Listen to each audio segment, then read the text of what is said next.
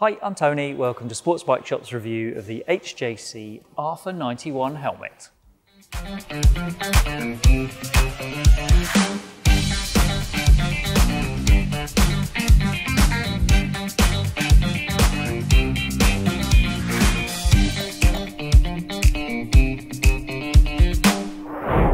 This is the new for 2023 HJC RPHA 91 flip front helmet. It takes over from the very popular RPHA 90S and in virtually every way I'd say this is a significant improvement over the previous helmet. Normally when I come to review a lid I've done a few hundred miles in it to get a good idea of what it's like out on the road. But for this helmet the review period coincided with a really intense period of riding so I've done over 2,000 miles in this one which means I've got a more in-depth understanding of this helmet than I'd normally have. First though, let's run through the key details before I get into too much about how I found it out on the road. The shell for the main portion of the helmet is made from HJC's latest composite of fibres, which they call PIM Evo, or Premium Integrated Matrix Evo.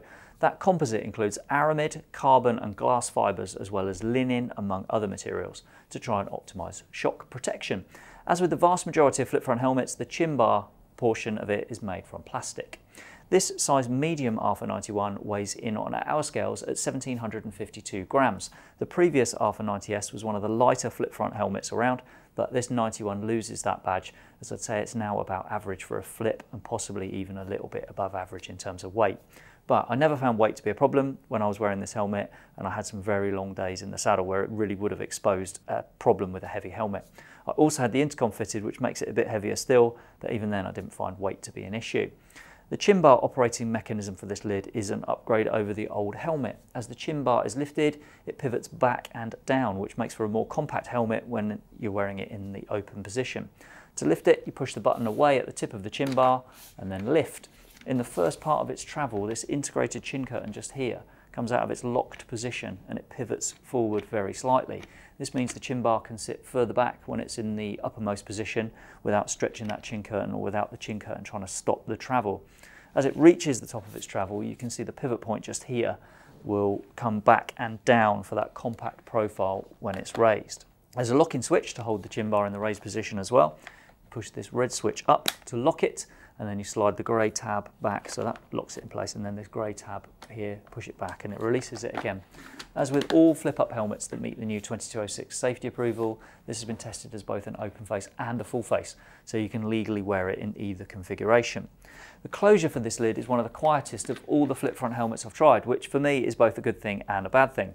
It gives a good quality feel rather than the loud clank you get with some flips, but it does make it harder to tell sometimes if the chin bar is properly secured.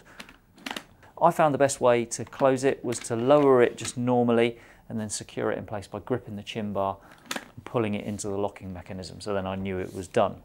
I quickly got used to doing it that way and was very happy with the chin bar operation in the end. I didn't routinely ride with the chin bar up as that meant I had to rely on just the sun visor for eye protection but on the occasions that I did that I was very happy with the RPHA 91. I found it probably better balanced than most flip fronts about.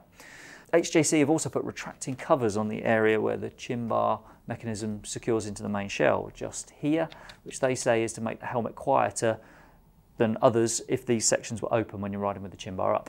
Couldn't tell you how much difference that makes in terms of noise, but it shows the level of detail that HJC have gone into with this helmet.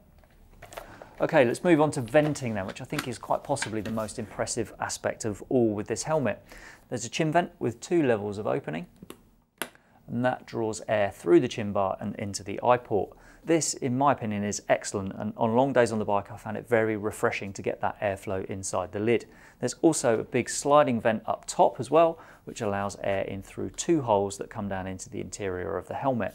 Channels in the EPS impact liner then allow that air to circulate and exit through a switchable exhaust vent just behind it. I found the top vent as well to be excellent and I could really feel air whooshing into the lid and circulating particularly around my temples.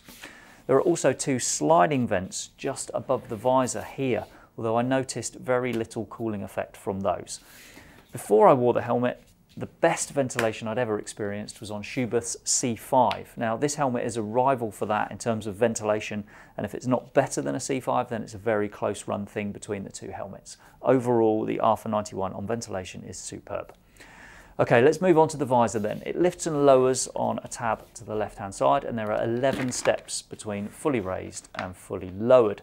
I never had any difficulty opening it by just a small amount to allow in a little bit of airflow. I did need to use a little bit more force than I'd like to release the locking clip that sits in the middle of the visor just here, but it always came away without too much difficulty. A lot of the time I actually just lifted the whole chin bar if I wanted to let some air in while I was stopped at traffic lights, because it's just as easy to lift the whole chin bar as lift the visor and it lets in more air. The visor, which for visor spotters is an HJ37, is very easy to remove and refit, and it's also protected by a top grade Pinlock 120 anti-mist insert. And if you need to adjust the tension on the mounting pins for the Pinlock, then it's easy to do that thanks to the external screws that let you rotate those pins without pushing them out of the visor and pushing them back in again. I found peripheral vision from that visor to be excellent as well.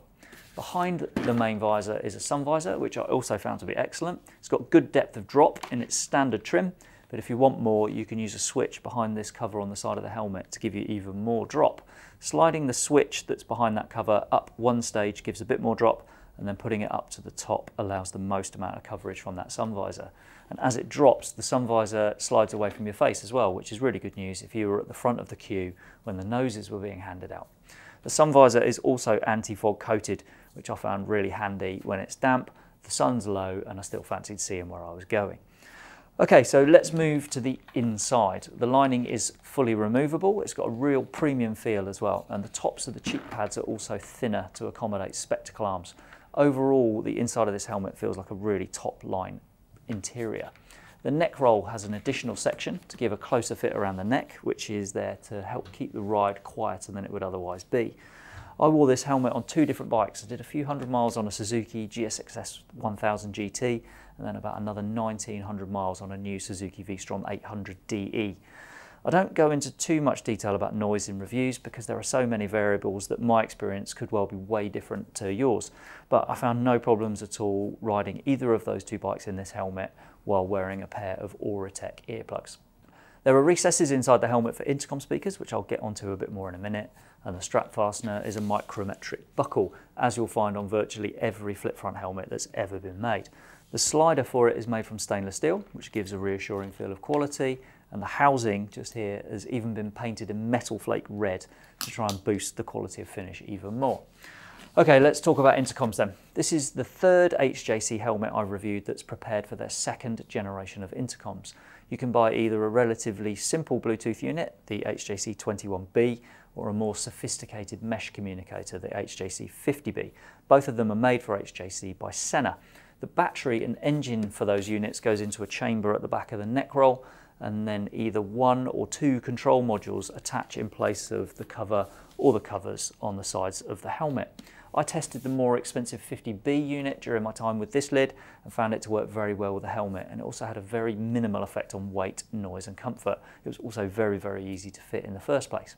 Now we're working on a review of the intercom in its own right and we'll add a link in the description for this video once we've published that.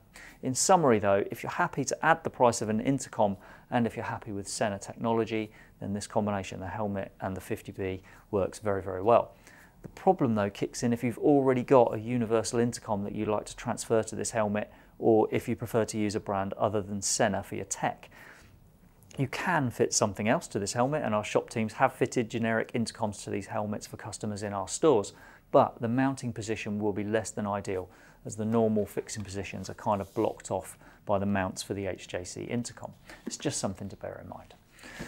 Okay, let's move on to sizing and approvals. The RPHA 91 comes in sizes from extra small up to double extra large. There are four shell sizes to cover that range, which helps keep the external size of the helmet more in proportion with your head. The smallest shell is used for helmet sizes extra small and small. Medium has its own shell, so does large, and then helmet sizes XL and 2XL share the biggest shell. The helmet is approved, as I said earlier, to the latest ECE 2206 standard for the road. There's no rating yet under the UK government's SHARP testing programme as we record this, but we'll add it to the description for this video if and when one is revealed. Right then, it's time to sum up. I've been lucky enough to review pretty much all of the best flip front helmets on the market, and I'd say this is right up there with them. About the only real criticism I have is of the way the intercom integration blocks out other types of unit, which I know will put off some riders. The quality of the helmet is excellent. The shape suited my head, which is a round shape, and I found this comfortable for long periods in the saddle.